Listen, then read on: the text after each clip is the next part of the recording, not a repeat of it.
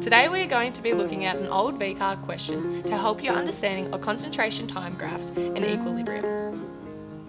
So here we have been given the equation. And first thing to notice is that our delta H, or our change in enthalpy, is positive. This means that our reaction must be endothermic. Okay, so this is a multiple choice question, so we'll go through the answers. What event occurred at time t to cause a change in equilibrium concentrations? So here we have time t. If we look at time t, we notice that NOCl slowly increased and chlorine gas slowly decreased. However, our nitric oxide rapidly increased. So could A be correct? So A says that the pressure was decreased at a constant temperature. Now, if our pressure was decreased at a constant temperature, our equilibrium would shift to the side with less particles. So in this case, it would favour the back reaction. This means that our NOCl would slowly increase, which is correct.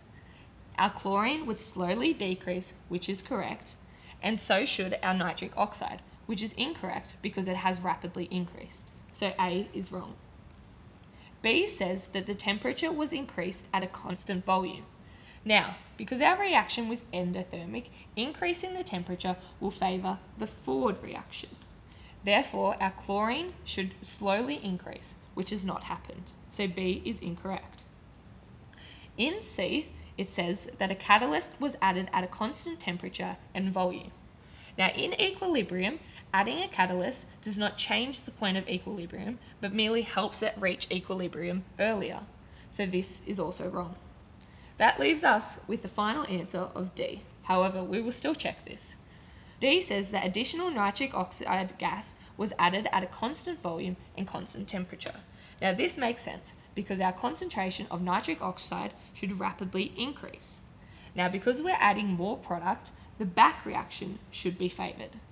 So our chlorine should slowly go down, which has happened, and our NOCl should slowly increase, which has happened. Therefore, the answer is D.